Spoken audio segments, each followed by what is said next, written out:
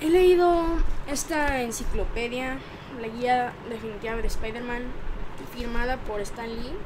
La he leído más de unas, ¿qué puedo decir? Uh, no sé, 20 veces en mi vida, a lo largo de mi vida.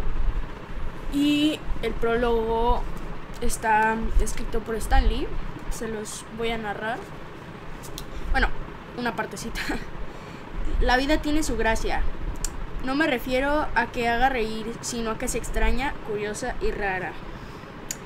Pero no perdáis el tiempo preocupándonos por nosotros. Os esperan muchas historias en las páginas siguientes de su vida.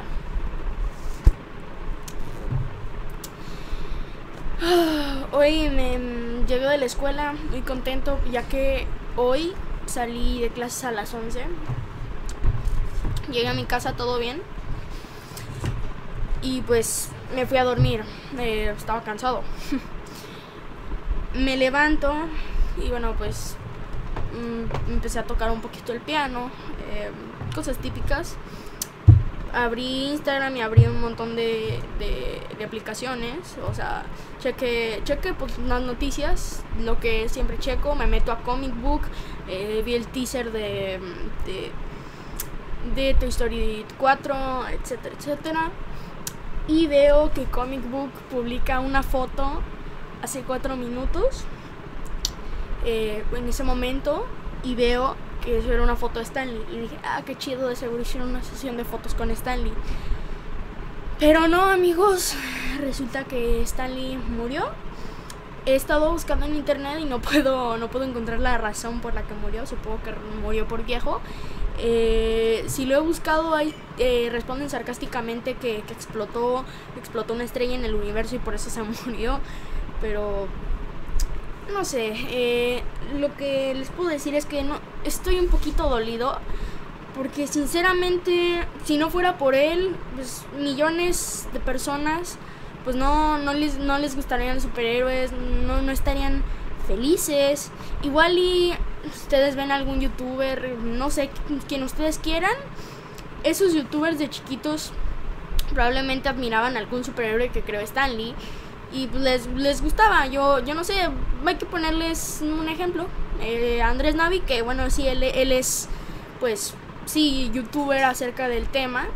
Eh, pero pues no, no sería tan famoso, no sería famoso, no tendría sus vistas si no hubiera sido por Stanley. O sea, fíjense en eso. Eh, gracias a, a Stanley, pues mucha gente ha podido llegar a ser famosa gracias a sus obras, gracias a cómo escribe, él es una leyenda. Y pues me duele mucho ya que pues murió muy, o sea, muy yolo, literalmente, o sea, yo estaba pues, aquí en mi, en mi cuarto eh, checando en, en, un día normal, o sea, ¿por qué hoy? Yo, o sea, pensando como si hubiera una fecha exacta en donde muera, vivió, o sea, los 95 años. Algo que me parece muy extraño es que murió en el mismo año que murió Steve Ditko. Y eh, la verdad me parece muy raro. Y pues, ¿qué les puedo decir? O sea, mínimo el 50% de las cosas que están atrás mío a Stanley ha, ha, influido algo en ello. Miren, aquí hay latas de Coca-Cola de, Marvel que estos personajes, la mayoría los inventó Stanley. Aquí tengo cómics y cómics y varios cómics. Que Civil War, que la noche en que murió Gwen Stacy, que quien tú quieras. o sea, un montón de cómics que Civil War no lo escribió él, pero la mayoría clásicos que tengo aquí y los que tengo acá arriba, estos, esta caja está llena de cómics. Todo eso lo escribió él. ¿Y por qué, por qué estoy haciendo este video? Porque no, ustedes no creo que estén viendo que lo esté editando, no, no lo voy a editar.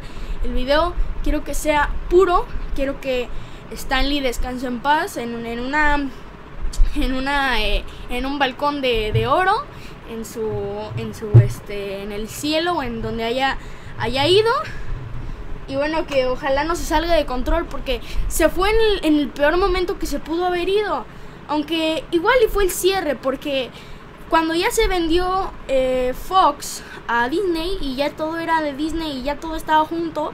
Yo creo que ese fue el cierre, la razón por la que se fue.